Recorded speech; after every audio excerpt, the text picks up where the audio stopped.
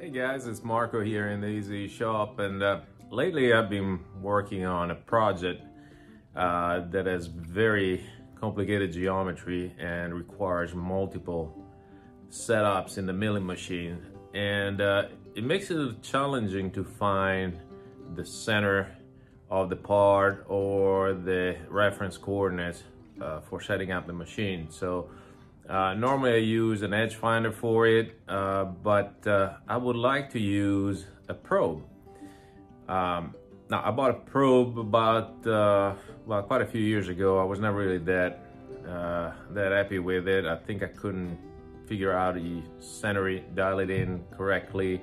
It seemed to be go out of spec a lot on me.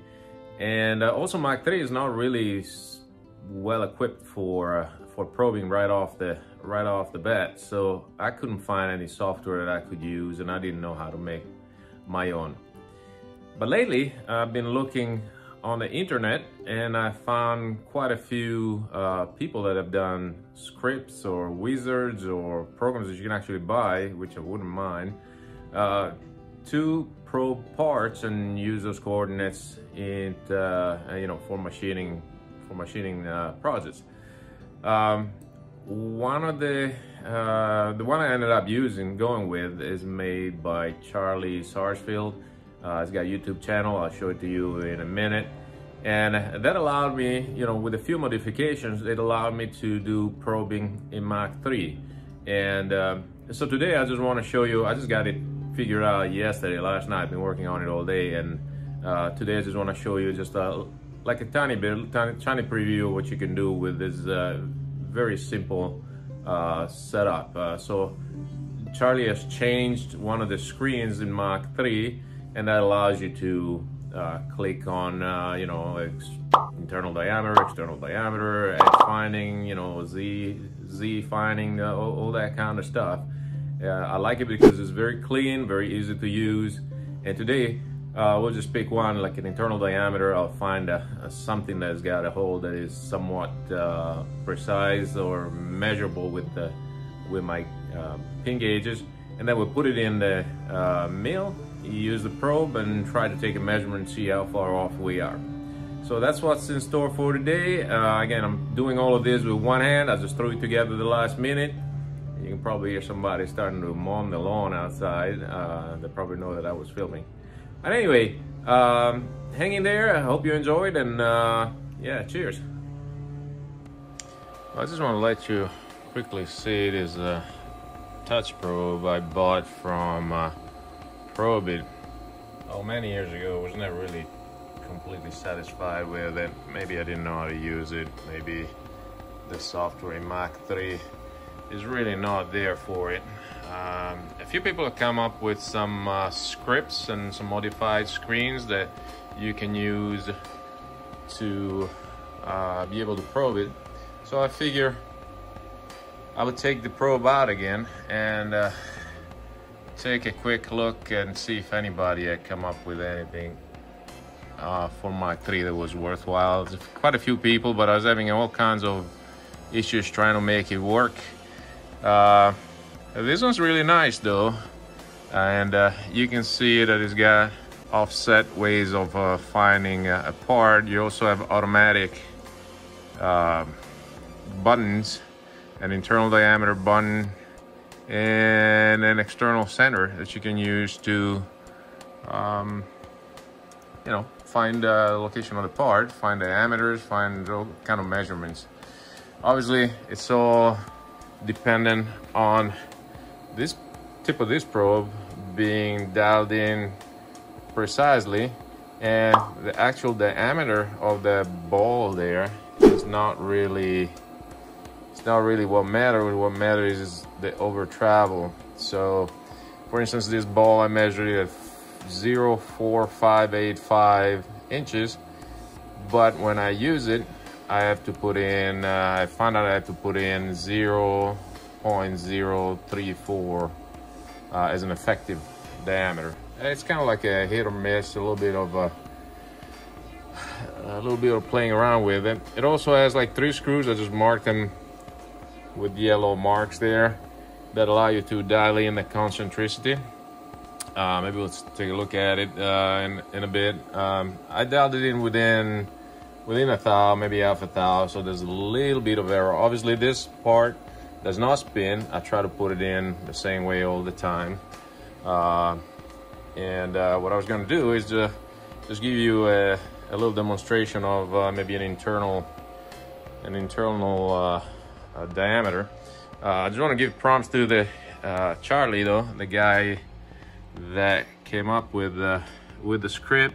I modified the script quite a bit to make it suit my um, my sensibilities. Um, but you can see it's Charlie Sarsfield on YouTube. Uh, great guy. We've been going forth, you know, back and forth a little bit on uh, on uh, on email. Uh, he hasn't put anything out in uh, looks like a couple of years, but uh, last email he sent me said he was working on some CNC pro, uh, project hopefully there's a few tweaks that he could make to that. Hopefully maybe he can come out and uh, spend a little time on it. But uh, regardless the changes that I made to it that uh, seem to work well for the X2 so what I figure to do is that I'm gonna try to do this one-handed. I got a one two three block. Now this is an old, my old one two three block. Uh, the hole seems to be pretty good consistent size but you know it was full of crud inside so I tried to clean it as best as I could. Um, I found that uh, let's see a 350 pin from my pin collection here. Let's see if I can point point at it. So the 350 pin seems to let's see at least before it seems to work. Well let's try let's make sure oh sorry this is a 370. Pick the wrong one. All right, 350. Seems to go in just about right. It goes in a bit, a little halfway there, and then there's some burrs that I was able to clean down deep. So uh, it, it goes in pretty well, and it's uh, yeah, it's got a tiniest bit of a wiggle. So so obviously 350 or 350 of an inch it's slightly small. Let's try the 351.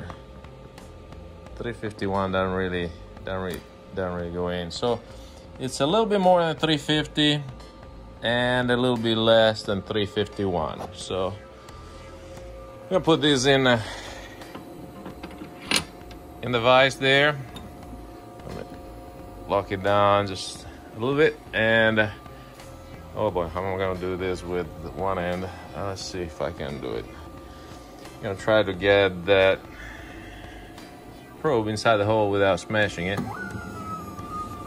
Now the probe doesn't have to be necessarily centered. It will find a circle, circle center by itself. So that's probably good enough. So let's take a look at uh, this screen here and uh, it's kind of cool because it's got a little bit of audio too so um, coming from Mach 3 so we're gonna do an internal center. It'll ask us if you want both X and Y or just X or just Y. And if it is a circle it's gonna do it twice. The first time it center itself and then the second time that takes the actual measurement. And it'll give us the information right down here. Right now you can see the probe is uh, 0340 there's no additional gauges in there we are going to click i give it three delay three seconds delay so give me a chance to move my my head over there and see what's going on and keep grab grab the stop buttons in case something happens. So we're just gonna hit ok. It'll give us a countdown right here. And it's already found one of them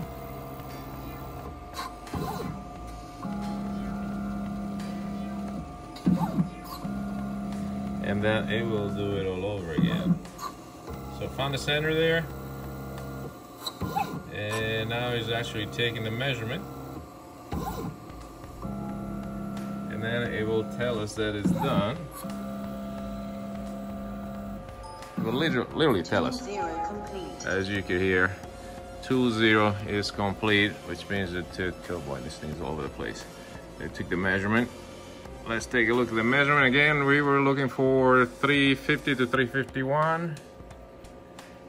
we got 350.7 the difference there is between the two axes so the hole is uh, uh, lopsided by maybe four thousandths um, you do multiple multiple tests and it'll come up with slightly different numbers but uh, you know no hose is perfectly straight all right so that is uh, that is uh, probing an internal hole in Mach 3 Hope you liked it. Maybe you can uh, get yourself a probe. Again, this is from Probit.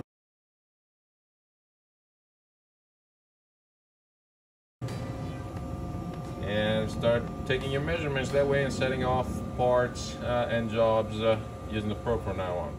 So what do you think? Uh, came out pretty good, I'd say. You know, the seems like the probe is working really well. Uh, again, uh, I thought there was something wrong with the probe back in the days. Uh, it's probably just me not knowing how to use it. It, it is a little bit finicky to, to set up.